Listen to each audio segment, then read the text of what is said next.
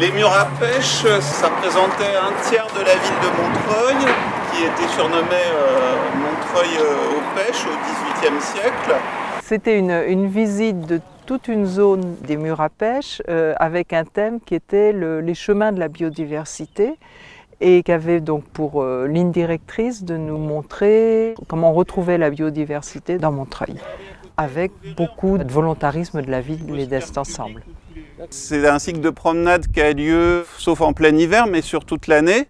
Donc ça permet aussi de voir l'évolution de la nature, des plantes, des cultures, euh, selon les saisons.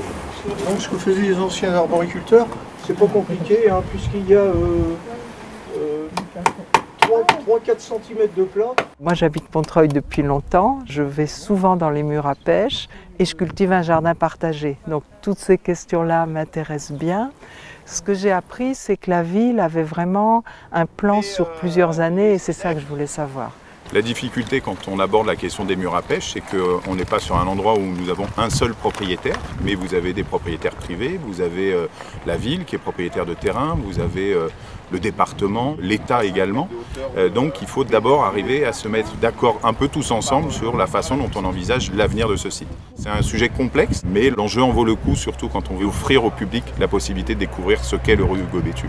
Il y a à la fois donc un aspect historique avec euh, des, cultures fruitières euh, qui avaient lieu et qui sont encore aujourd'hui faites par des associations. Un aspect de la biodiversité avec le projet de réouverture du rue Gobétu, un petit ruisseau qui traverse le site de part et d'autre avec les restaurations des murs euh, sur lesquels voilà, il y a plein de choses intéressantes à dire se rendre compte aussi, parce que ça a occupé le tiers de la ville de Montreuil, donc imaginez voilà, ce que ça pouvait être Montreuil il y a 100 ou 200 ans.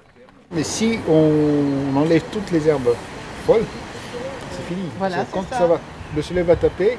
Moi je vis euh, ici depuis pas longtemps, je dis euh, on, a l'impression d'être à la campagne, on n'est pas loin de Paris, c'est magnifique, il faut vraiment, vraiment le préserver cet endroit.